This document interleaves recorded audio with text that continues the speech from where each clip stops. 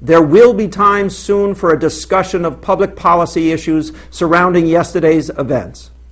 But what's important right now is love, courage, and compassion. Love as it has poured in from around the world.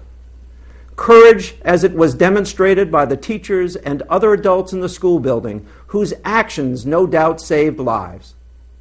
Courage on display as it always is by our first responders compassion, as shown by people from around Connecticut who've arrived in Newtown wanting only to help. Too often we focus on what divides us as a people instead of what binds us as human beings. What we saw yesterday were those bonds, that sense of community. In the coming days, we will rely on that which we have been taught and that which we inherently believe, that we have faith for a reason, and that faith is God's gift to us all. Those educators and those innocent little boys and girls were taken from their families far too soon. Let us all hope and pray those children are now in a place where that innocence will forever be protected.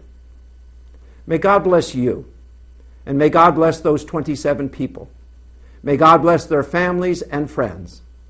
And, and may the pain their loved ones feel be someday absorbed by the love of all mankind.